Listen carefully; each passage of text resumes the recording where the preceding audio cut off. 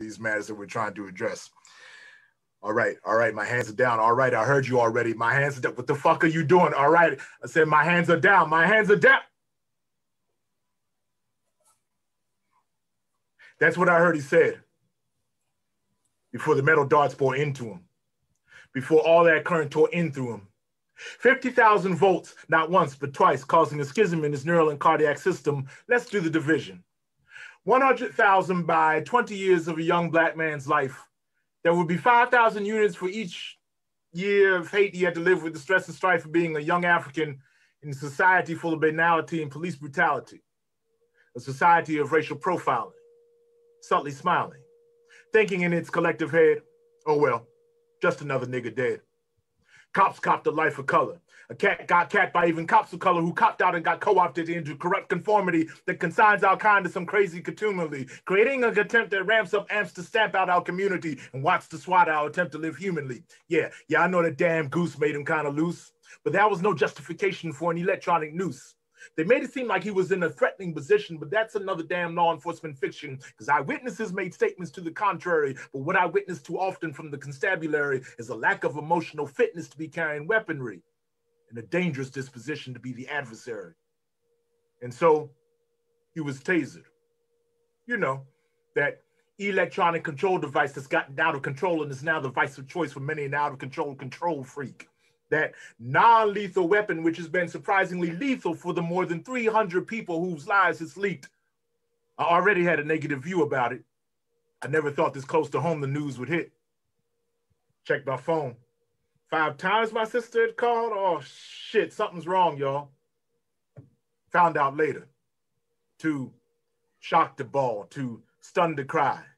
The guy who loved to run ball, whose smile was still so childlike on a man child's body tall, was shocked and stunned to death, shrouded under hatred's pall.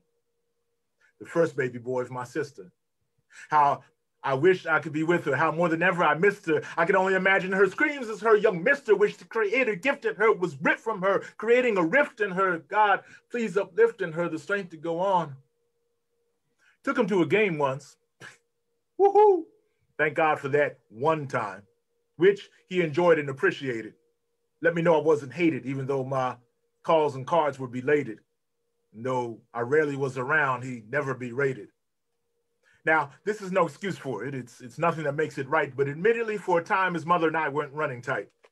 No, no, not like there was a fight. Nothing deranged. Just a brother and a sister is strange. Though that was beginning to change. But for the longest time, it was for no other reason than that we hadn't sat down to talk. Now we were in a season of tragedy, which brought us into a closer walk. Now, I respected my sis because she always invited, always pleaded with me to come get him and be that uncle I was supposed to be. Spend time with him. Be a man with him. Encourage and, if need be, reprimand him. Help him focus. Teach him. Give him some locus where he could reach in and center himself and execute his plans. Now he's been executed by trigger happy hands. Weird, isn't it? Spend a career working with other people's kids while your relationship with some of your own hits the skids, made slippery with good intentions. So, with all that having been mentioned, can't make the same mistakes of absence with the next two. Got to honor Rel's memory and to them be true. Oh, internal investigations, of course, found no wrongdoing and thus no punitive action was ensuing. Obviously, they weren't really, look, really looking. Too much a part of the system to make the correct booking.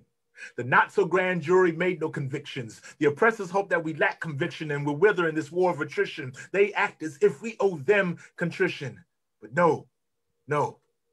There will be no acquiescence to the slaver's electronic whip no letting the memory of Jarrell and others slip, no voltage that will leave our minds so dazed, our souls so t-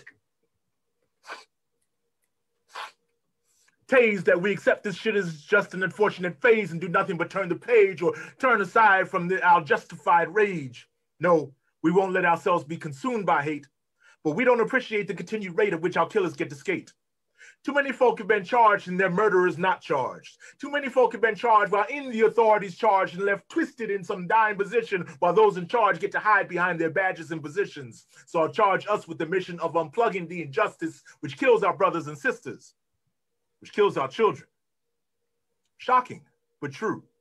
So let's do what we got to do. Speak love to our young ones while we have the opportunity. Speak truth to power to end police impunity. We cannot and will not accept this current reoccurrence of hate. The survival of our families is at issue. Indeed, the survival of our community. And Yorel, I miss you. Poem for Jarrell.